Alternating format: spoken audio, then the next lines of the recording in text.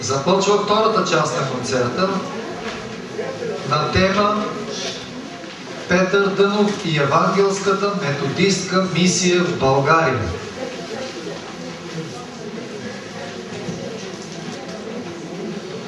По време на антракта всички получихте такива листовки, които ще ви бъдат необходими. Не сте ли получили?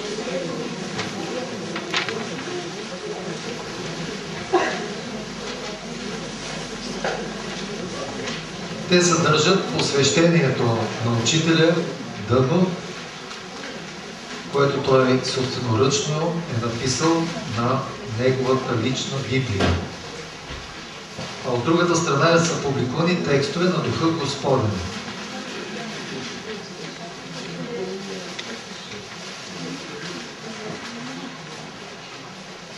Мария, сестрата на Петър Дънов, става евангелистка. Този път разказът е от евангелист Методий Марков, който е главен пастор на евангелските методисти, евангелистите методисти в България от 1949 до 1962 година. Изгората на Мария е един момък, който бил евангелист-методист, по професия кожухар и живеел в самата евангелска църква в град Варна.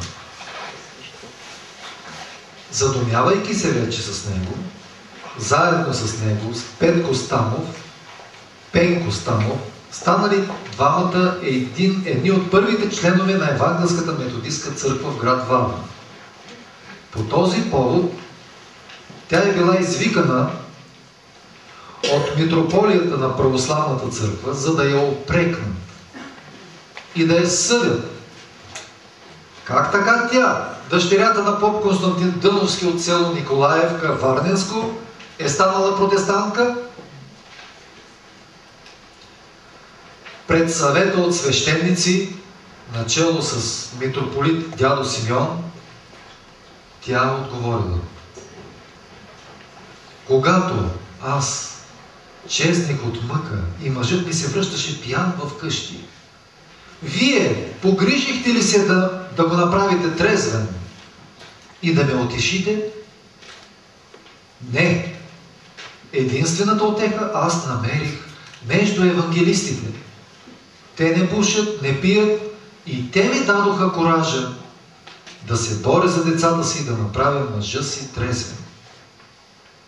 А те, евангелистите, четат същото Евангелие, пеят духовни песни и проповядват жива вяра в Христа. Аз там разбрах, че християнството трябва да се живее. С тези думи тя напуснала съдебната зала и завинаги скъсала с църквата на баща си на свещеник Константин Дъновски му било много мъчно, но нямало какво да се прави. Впоследствие, когато той самия е изпитал от колегите си много неправди на гърба си, без да се отрича от православието, мълчаливо одобрявал пътя на децата си. Малкият брат на Мария, Петър, израснал и се формирал като юноша в нейното семейство. В самата евангелска църква, като присъствал на богослуженията и събранията и като приемал напълно формата на изучаване на Евангелието и приложението му в живота. Затова и под влияние на сестра си, Петър бил насочен да продължи учението си в Американското научно-богословско училище в град Свищов, което завършва през 1887 година. Мария и съпруга ти, като членове на Евангелската методистка църква във Варна, подарили за строежа на църквата приготвените камъни от тях за строеж на собствен дом. В целия град се знаело, че техният дом на Мария и Пенко Ставови е бил открито обявен за евангелски дом. При тях са живеели като наематели младежи, които Мария, като ревностна евангелистка, канила да посещават проповедите на мисионера Ламсбери, когато той посещавал Варна. Някои от тези младежи, приемайки евангелизма като усърдно християнство, отпосле са завършвали Американското научно-богословско училище в Свищов и са ставали проповедници. Към Евангелската методистка църква са били зачислени, освен Мария и Пенко Стамови, още и техните четири деца. Друга интересна подробност. Майката на Петър Дънов се е казвала Добра, а нейният рожден брат се е казвал Чорбачи Юграшев. И той е бил евангелист. Следва песента Любов и признателност към Христа номер 210.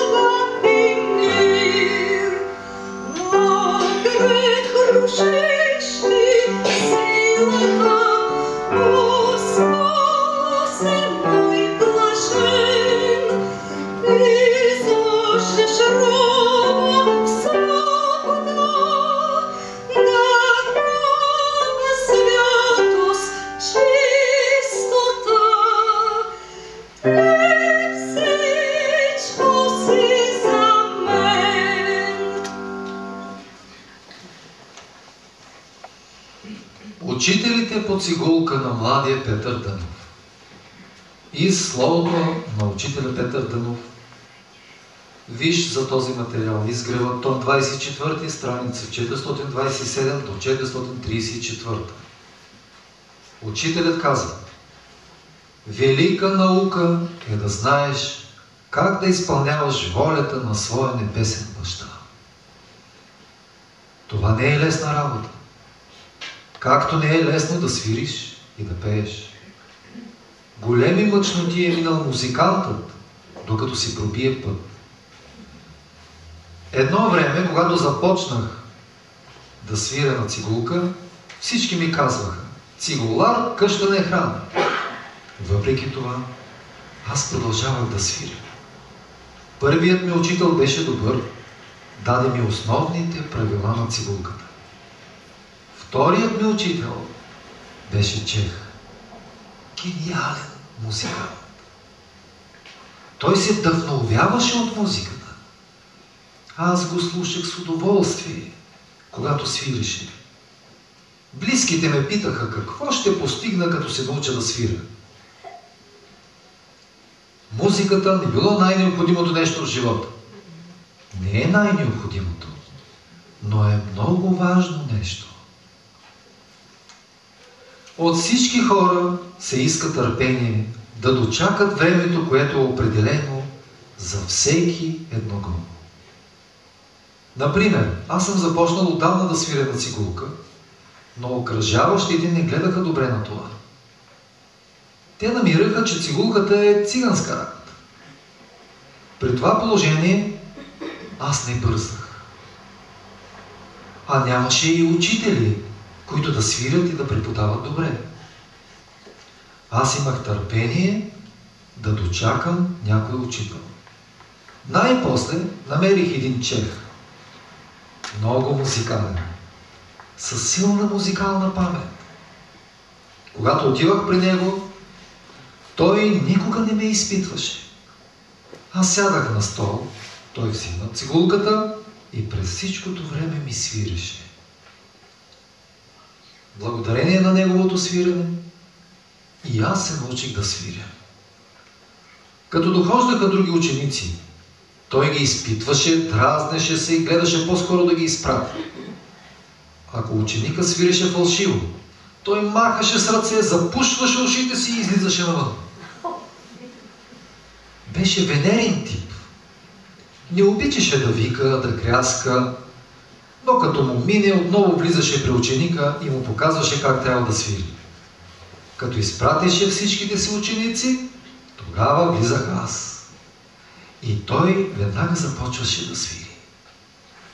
Аз сядах на един стол и с удоволствие слушах и се учих от неговото хубаво свирене.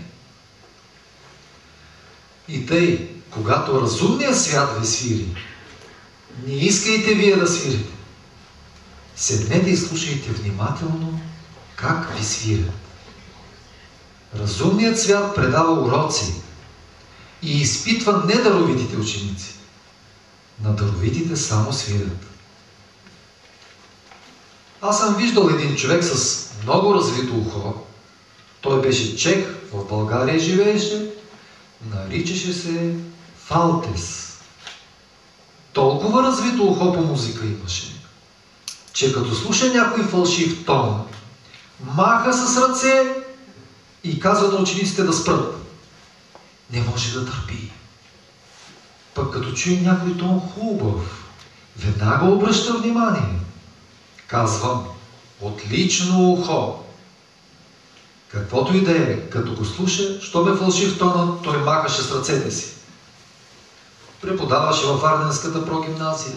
И като чуе, че учениците пеят фалшиво, веднага излезе от класа навън. Те млъкнат, той пак влезе. Пак запеят.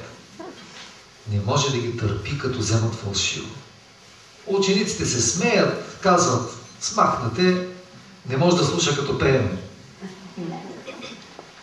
Следва песента Надежда и Копнеш под номер 226.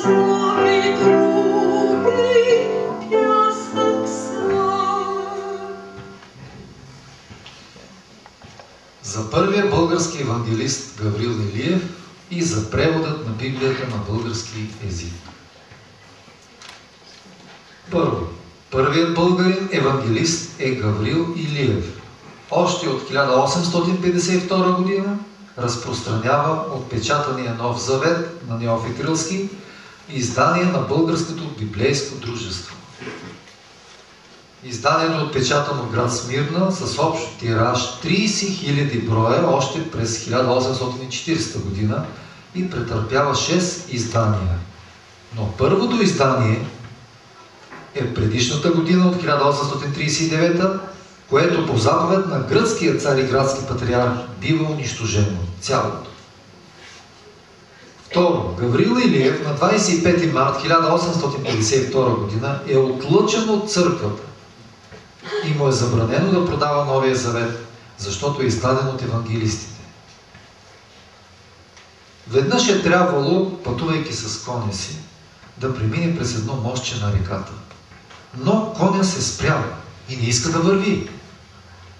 Тогава Гаврил вижда, че се явява един ангел, който хванал поводите на коня и го превел през мостчето. Минута след това реката отнася мостчето чрез предошлите води.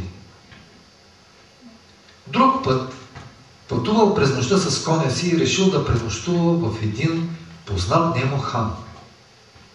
И тък му решава да почука на вратата. Чува глас. Гавриил, не буди лъва! Гласът бил силен, заповеднически. Той послушал, отеглил се. Не след дълго време се разнесли изстрели. Оказало се, че в хана имало разбойници, които чакали богат търговец, за да го убият и оберат. И днес има такива разбойници. Слушайте онзи, който ви говори. Това е вашият ангел-хранител. Преводът на Библията на български язик започва от 1836 година с превода на Новия Завет от Неофит Рилски. Преводът на Стария Завет започва от 1855 година от Константин Фотинов, а официално работата по превода е започнала в 1859 година.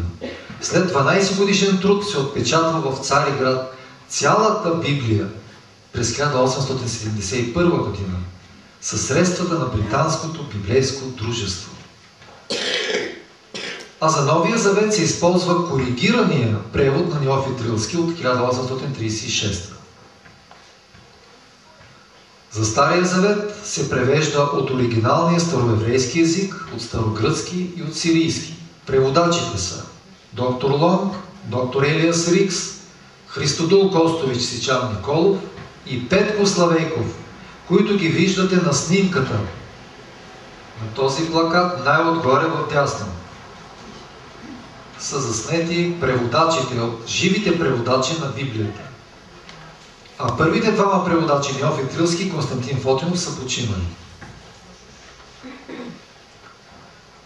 Освен снимките на четирите преводачи, виждате и Гаврил Илиев с жена му и семейството му на тази стълба. Следва песента Дързост в Христа от сборника 21 година Песни на Всемирното братство, страница 56.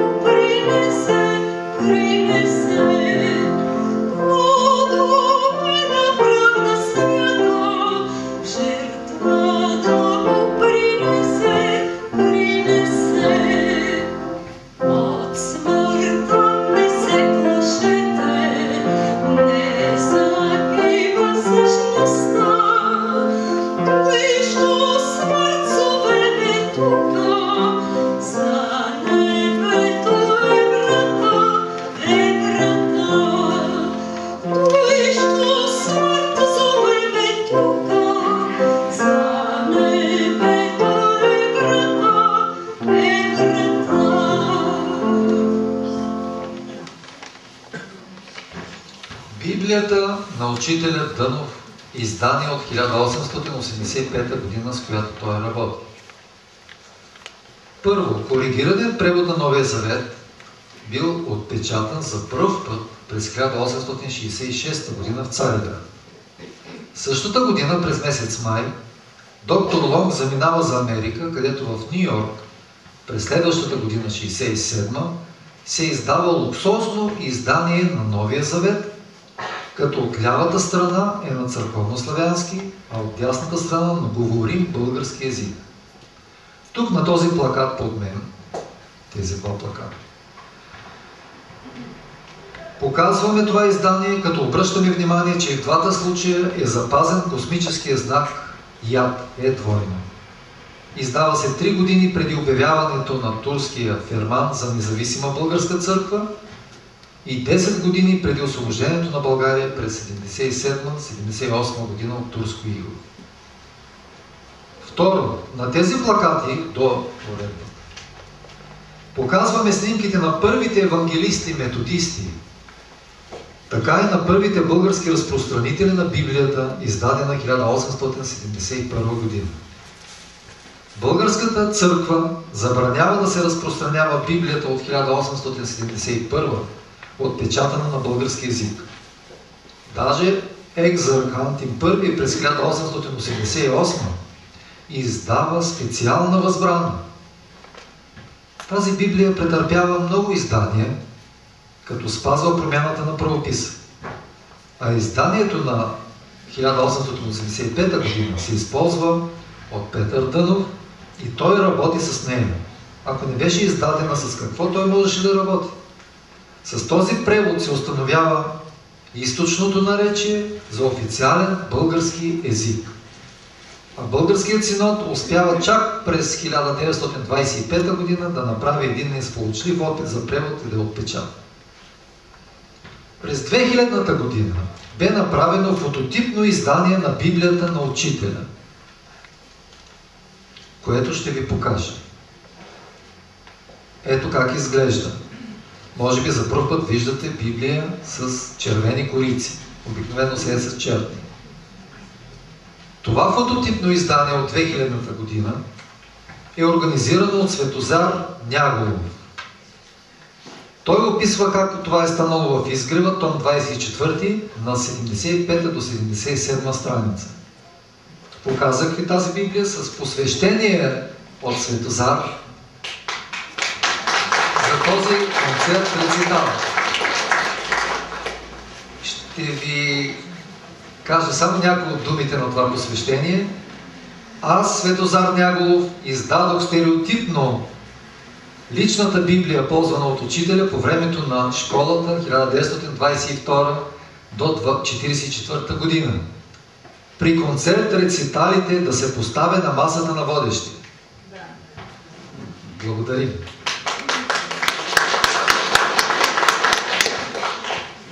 Следва песента на Христа за пейте от сборника 21 година на страница 7-6.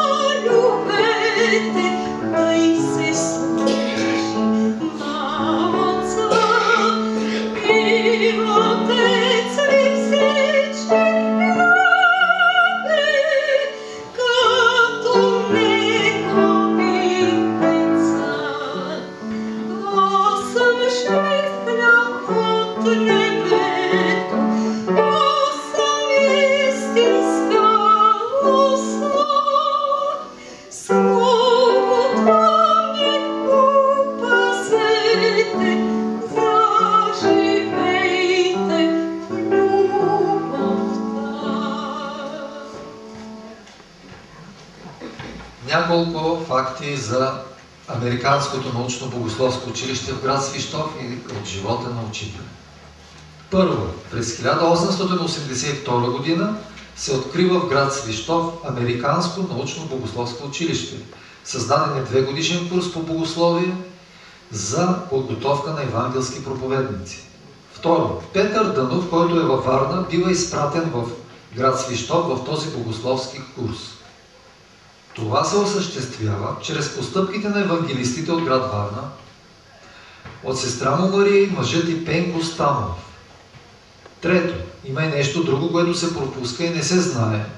Това е, че майката на Петър Дънов е от рода Юграшеви. Чорбачи Юграшев също е бил евангелист. Той е войчо на Петър Дънов. А знаете българската поговорка, че който има войчо владика, то той става поп. Петър Дънов е изпратен да се учи в град Свищов чрез тяхната благословие. По-късно е изпратен в САЩ, пак по тяхна линия благословие. Те са имали фондове, връзки, средства. Четвърто, първият випуск на богословския курс получават своите атестати на 25 юни 1886 година. Това са Иван Димитров, Петър Василев, Банчо Тодоров и Иван Тодоров. Тези четиримата получават назначение за помощник проповедници в Орхание, Ловеч, Търново и Варна. Описано е в Изгрева, том 24, страница 49 до 51. Пето, следващия втори випуск на училището е на 24 юни 1887. Това са Христо Бачваров и Петър Дънов. Те правят една обща снимка, която ние представяме на плакати. Снимките на всички випускници. Описано е в изгрева там 24 на същите страници. Шесто. Атестатът за завършване на богословския курс в град Свищов е подписан от директора Чарлис и от двамата учители Йордан Икономов и Стефан Томов. Атестатът е публикуван в Изгрева, също 24 том, снимка номер 80. На тези два плаката показваме Петър Дънов и с неговите съученици от Свищов. Следва писента Милосърдието от сборника 21 година, страница 10 и 11. Всякога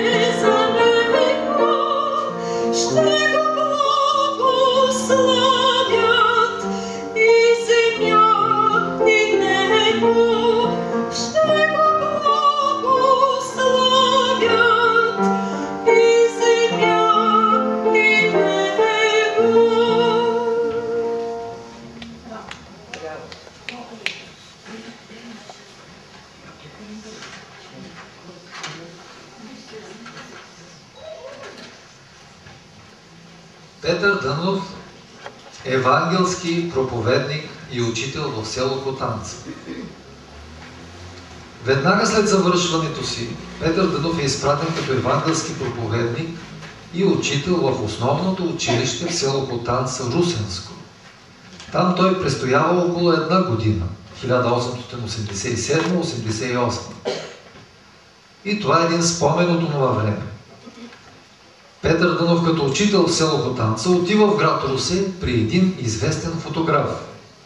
През 1887 година в град Русе той прави снимка, която я има тук на плакат. Не, мисля, че на, на този плакат. И е изпраща на сестра си с надпис на гърба. В знак на искрена братска любов подарявам за спомен лика си на Мария Станова Помнете ме в Исуса, ваш искрено любящ брат. Подпис П.К. Дънов, Русе, ноември 24, 1887 година, село Хотанца. Снимките на сестра му Мария с мъже и Пенко Станов са тук на плакатите. Показахме ви. Същата снимка той изпраща на своя съученик от богословския курс в град Свищов Петър Василев – Отзад е написано следното. Русе, априли 1888 година, село Хотанца, в знак на приятелска и братска любов в Исуса подарявам за спомен ликът си на Петър Василев. Помнете ме в Исуса, понеже в Него за всякоги ще се радваме. Блаженни онези души, които са съединени с Христовата любов. Ваш брат и приятел Христа Петър Дънов Подпис Петър Дънов. Снимката на Петър Василев като млад е издадена и я има на плаката. Може да видите на отгоре. Също прилагаме ликът на Петър Василев като белобрат проповедник на плаката. За него е описано в изгрева. Снимките са 41 и 42. Цяло чудо на небето е, че до днес са запазени тези снимки с почерка на Петър Дънов а цяло знамение на земята бе, че са публикувани в изгрева, том 24, който описва моменти от историята на евангелската методистка мисия в България, свързана с делото и школата на учителя Дънов. Следва песента Напред да ходим от сборника 21 година. Напред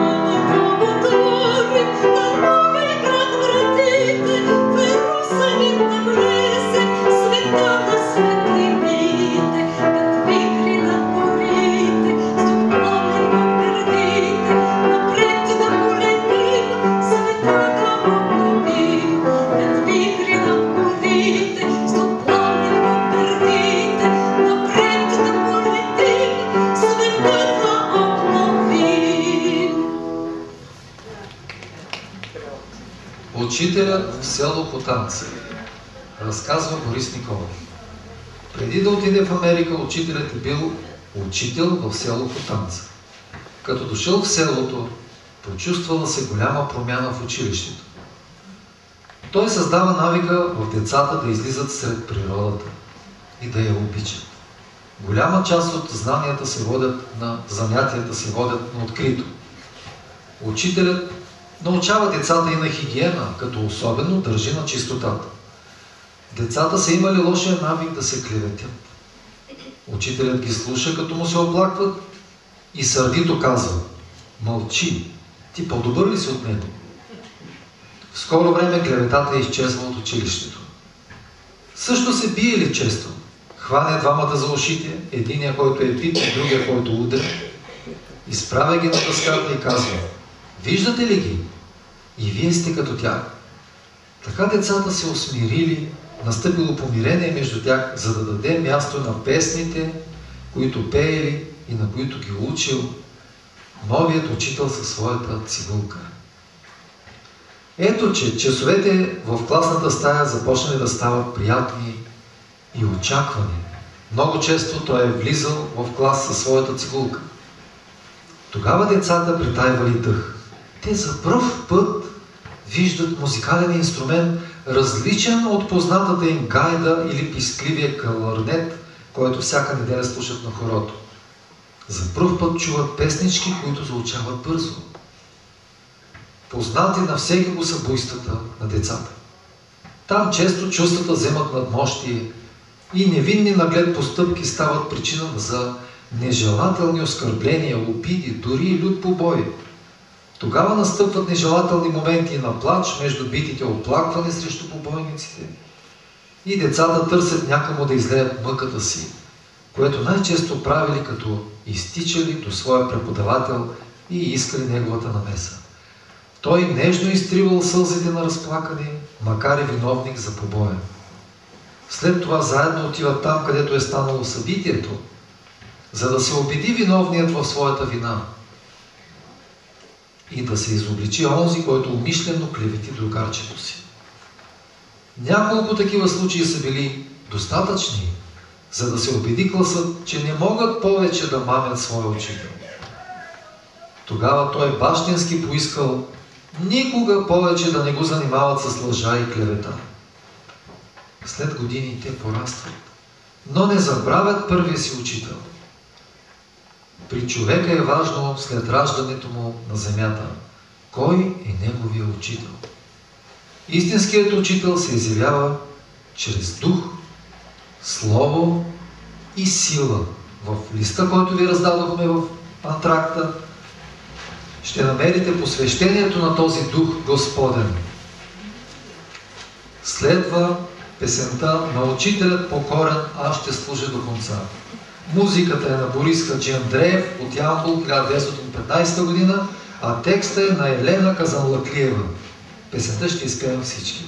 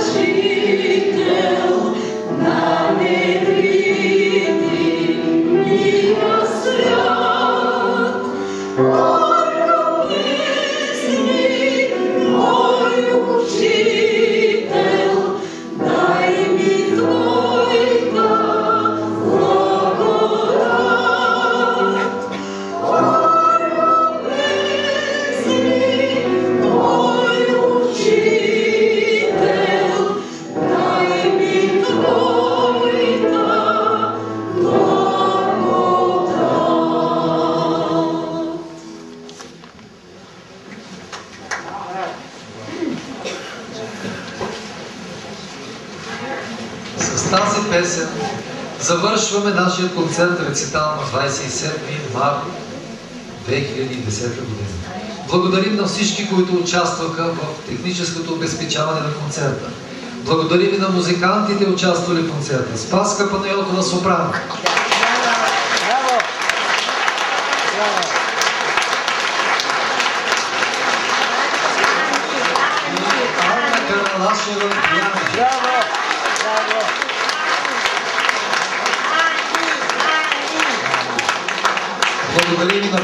Публиката, която беше търпелива да изслуша и мен, водещия Петър. Браво! И накрая да благодарим на сценариста, режисьора и съставителя на изгрева, доктор Вергилий Кръстев, който организира концерт.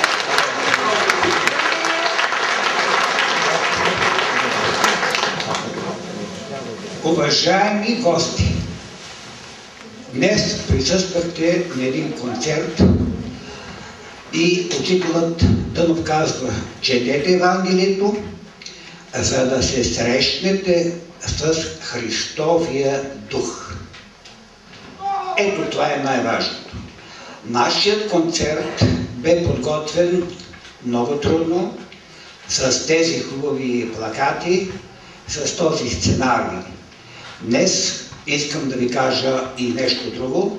Преди три дни си замина Константин Няголов от този свят. Той винаги присъстваше на тези концерти и семейството Няголови е приготвило е, за негова а, утеха тук да, да се почерпите с ябълка и с бомбони. А преди това водещият ще почете една молитва за молитва, която е публикувана в изгрева и това е молитва за заминали.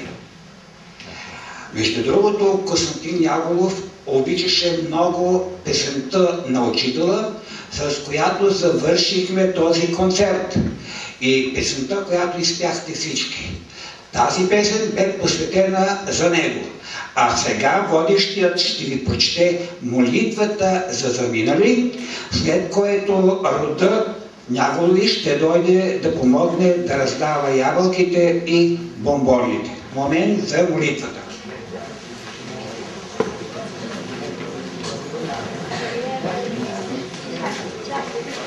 Молитва за заминали.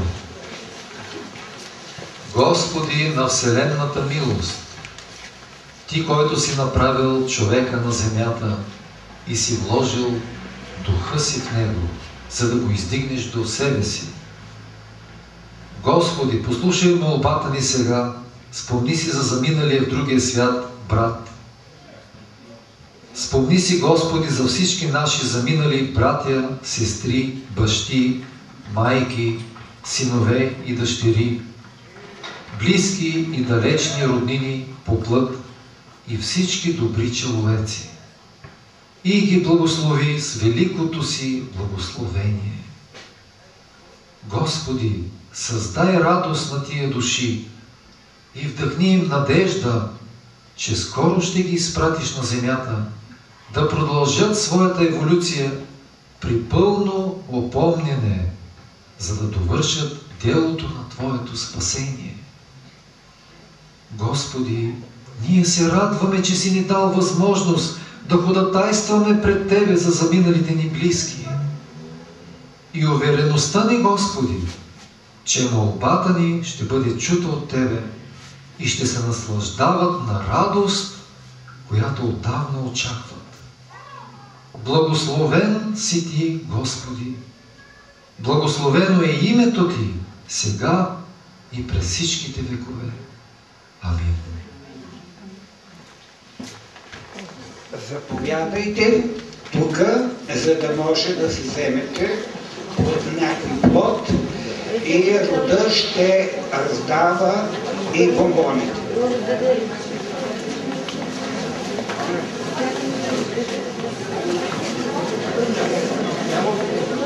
Thank.